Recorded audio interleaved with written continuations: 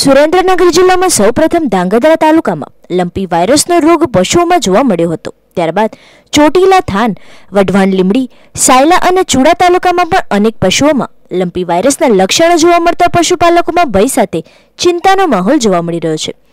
Lumpy વાયરસને કારણે જિલ્લામાં પશુઓના મોત થયાના પણ બનાવો બન્યા છે. ત્યારે વધુ પશુઓ આ રોગનો ભોગ બનતા અટકે તે માટે તંત્ર દ્વારા જિલ્લા કક્ષાએ ચોવીસ કલાક હેલ્પલાઇન કાર્યરત કરવામાં આવે. પાલિકા કચેરીમાં કંટ્રોલ રૂમ શરૂ કરવામાં આવે. તે સહિતની બાબતો અંગે માલધારી સેના તેમજ માલધારી સમાજના સંતો મહંતો અને આગેવાનો દ્વારા કલેક્ટર કચેરીમાં રજૂઆત કરવામાં આવી હતી. તેમજ લંપી વાયરસને કારણે જે પશુપાલકોના પશુઓના મોત થયા છે, તેમને સરકાર દ્વારા તાત્કાલિક સહાય ચૂકવવામાં આવે તેવી પણ માંગ કરવામાં આવી હતી. અને ગુજરાતની યુટ્યુબ ચેનલને સબસ્ક્રાઇબ કરી ક્લિક કરો બેલ આઇકન અને મેળવો વિશ્વભરના ન્યૂઝ અપડેટ